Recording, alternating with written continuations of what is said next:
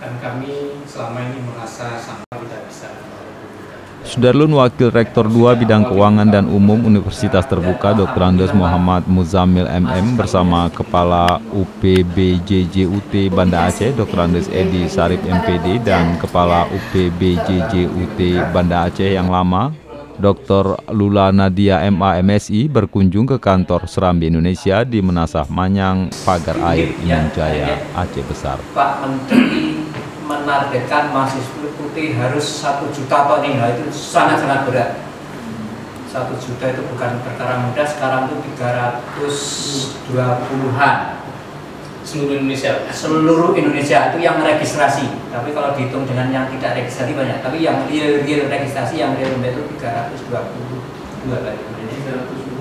302 aktif aktif aktif nah, yang sebelumnya kan 287 sekian jadi sekarang sudah meningkat dan itu alhamdulillah kalau kita sendiri dan saya yakin Ainul yakin bahwa itu tidak lepas dari peran media termasuk Serambi Indonesia kan UT itu kan tidak disaring secara ketat seperti hanya UGM UI ya. siapa pun Siapa pun. boleh masuk UT jadi kalau memang inputnya kurang bagus ya insya Allah tidak ya paling enggak eh, kalau ada istilah garbage in garbage out.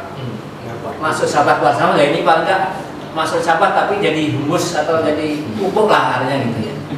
Soalnya ada juga masyarakat bermacam-macam dan eh, bahkan ada cerita pak besok mau pensiun itu sekarang wisuda.